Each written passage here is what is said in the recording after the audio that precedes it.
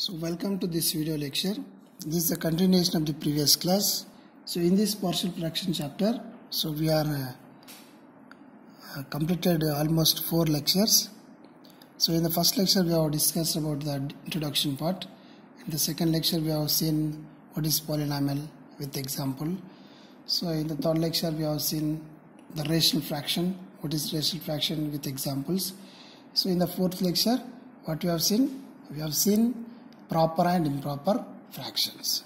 Now in the lecture 5 we are going to see how to divide a fraction, how to divide a big fraction or complex fraction into simple fraction means how to divide as a partial fraction, how to divide a big fraction into small fraction. Now we are going to see that one. So already we know the uh, rational fractions are two types. First one is proper, second one is improper. First we will see how to divide a proper fraction into partial fraction. Let us see that one first. So proper fraction.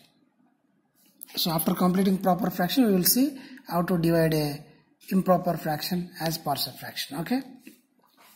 So partial fraction means numerator degree is less, denominator degree is more. So that type of fractions are proper fraction. Okay. So here in the proper fraction we can divide in four four or more than four types. So okay first let us see type 1 so type 1 problems.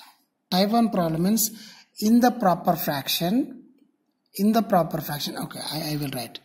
In the proper fraction in the proper fraction in the proper fraction the denominator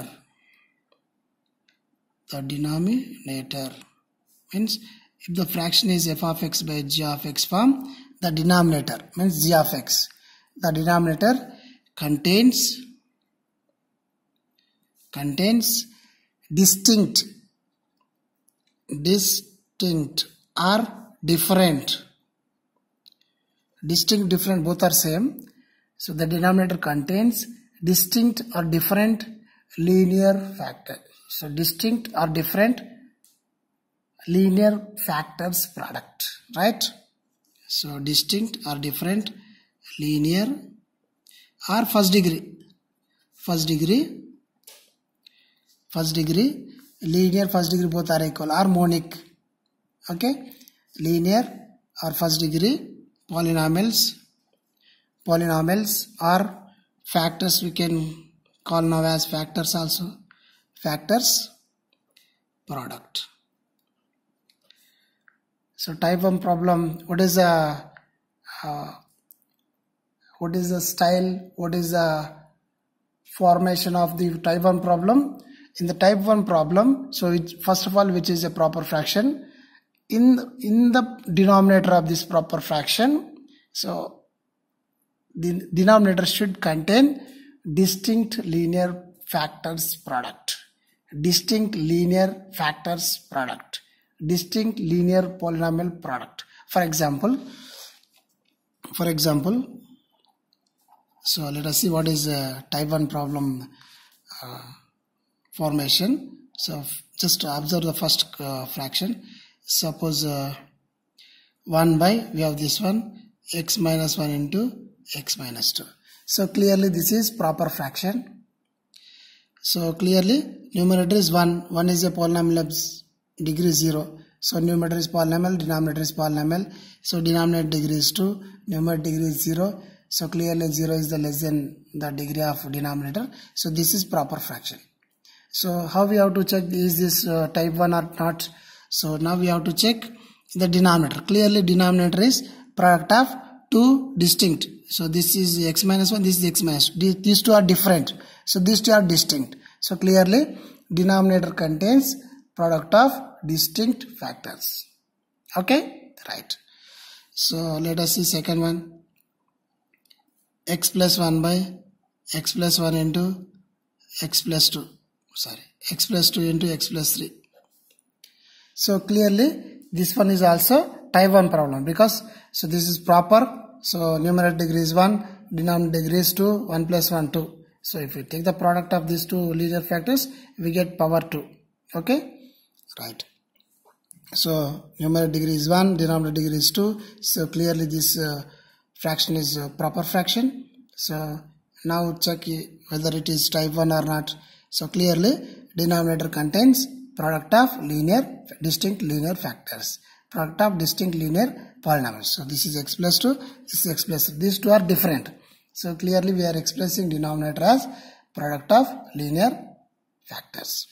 Now check another one x minus 7 by x square plus 5x plus 6.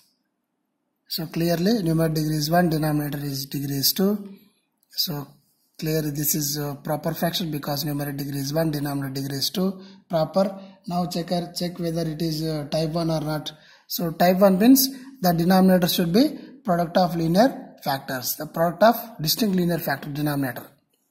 So is it possible to write denominator as a product of uh, distinct linear factor? Yes. x plus 2 into this is x plus 3. So x square plus 5x plus 6 is x plus 2 into x plus 3. Clearly these two are distinct. So clearly denominator is product of distinct linear factors. So this fraction, this complex fraction is also type 1 fraction, type 1 problem. Right? Now check another one. So I will give another example. 1 by 1 minus x into 1 minus 2x and 1 minus 3x. Now check is this proper or not. 1 is a polynomial of degree 0. So denominator also clearly all are distinct linear polynomials. This is first degree polynomial, first degree polynomial, first degree. So linear means first degree. Denominator contains distinct first degree polynomials. So denominator contains product of distinct first degree polynomials.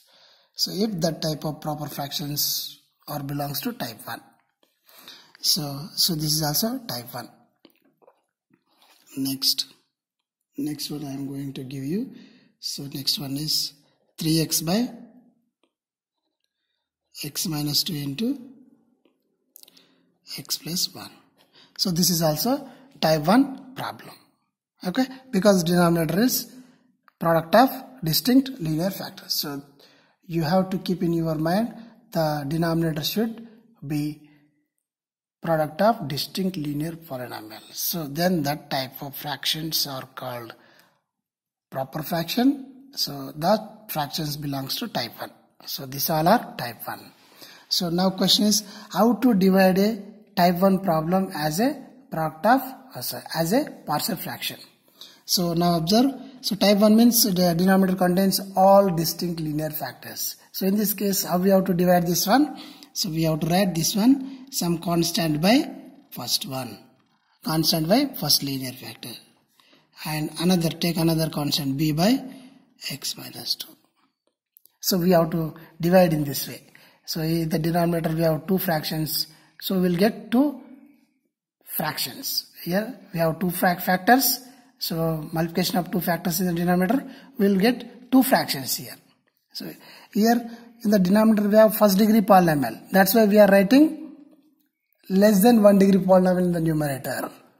So in, in future, in the next videos, uh, we are going to, we will see if the denominator is second degree polynomial, it is not possible to decompose or it is uh, not uh, reducible polynomial is second degree, then we will write uh, numerator as uh, less than 1 degree polynomial, means first degree polynomial.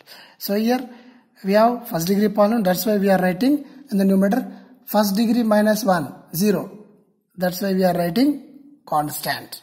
Okay, denominator is first degree, that's why we are writing numerator constant. Here also we have denominator first degree, that's why we are writing constant b. So let us keep uh, in your mind in the type 1 problem simply we have to write constant by first one constant by second one that's it. So let us see how to simplify this one how to get a and b values later. Okay? Now check this one. So clearly denominator also distinct two linear product of distinct two linear factors. Here also we have to divide this one as a by x plus 2 and b by x plus 3 so in this way we have to divide the first one type 1 problems right? So you can write in place of capital A and capital B other constant also. After just it is uh, temporary. So these are uh, middle terms. So just we keep a and b here. After simplifying the these fractions we will get a and b value. Then we will resubstitute here so after uh, completing our process the a and b will vanish. Okay? Right. So here also a by x plus 2 plus b by x plus 3 so what about here? So here a by x minus sorry 1 minus x first one. So this is the best easy method. Some constant by first one is constant, another constant by second one, another constant by third one. Plus b by 1 minus 2x plus c by 1 minus 3x. So in the numerator constant we should take different. Here we have three distinct linear factors. That's why we are getting here three fractions. Means we are going to split this big fraction into sum of three fractions. That is our aim. So what is our aim? we have to divide a big fraction into algebraic sum of small fractions, algebraic sum of simple fractions. That is our aim. So which is equals to, so here denominator contains product of 2. That's, we will get uh, two simple fractions here. So I am, I am giving here another constant d by x minus 2 plus e by x plus 1. So no need to give always A, A, B, A, B, C. You can write small a, small b also. Any constant K, K, L, K1, K2, you can choose any constants here, right? But so after choosing this, we will find these constant values, then we will replace here. So we will get the frac partial fraction of this complex fraction, right? So I, I want to give another example also to you. So 1 by x minus 8 into x minus 11. Clearly denominator contains product of distinct two linear polynomials. So this is type 1 problem. So here we have to divide a by x minus 8 plus b by x minus 11. Right? So we'll see some more problems how to divide the type 1 problems I will give. I give the different uh, fractions okay so let us continue in the next video so thank you for watching if you like it don't forget to subscribe and share among your friends also